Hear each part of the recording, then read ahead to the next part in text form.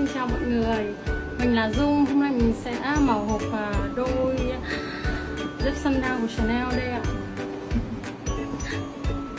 Mình sẽ mở mọi người coi nhé Bên trong có cái gì?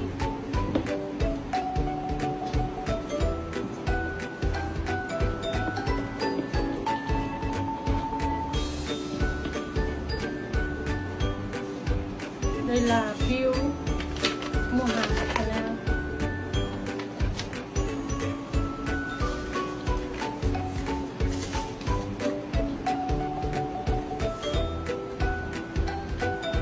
mở ra sẽ mình sẽ thấy rất là rõ đây mọi người nhá. Mình sẽ mở cả hai rồi uh, cầm lên là mọi người thấy. Đây.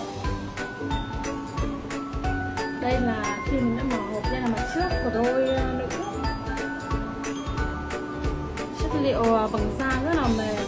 Thật sau đây nhá? Rất là xinh. Và bên mình thì uh, có bán lẻ những cái mẫu này. Nếu mọi người cần đôi chính hãng mình có thể inbox cho mình nhé.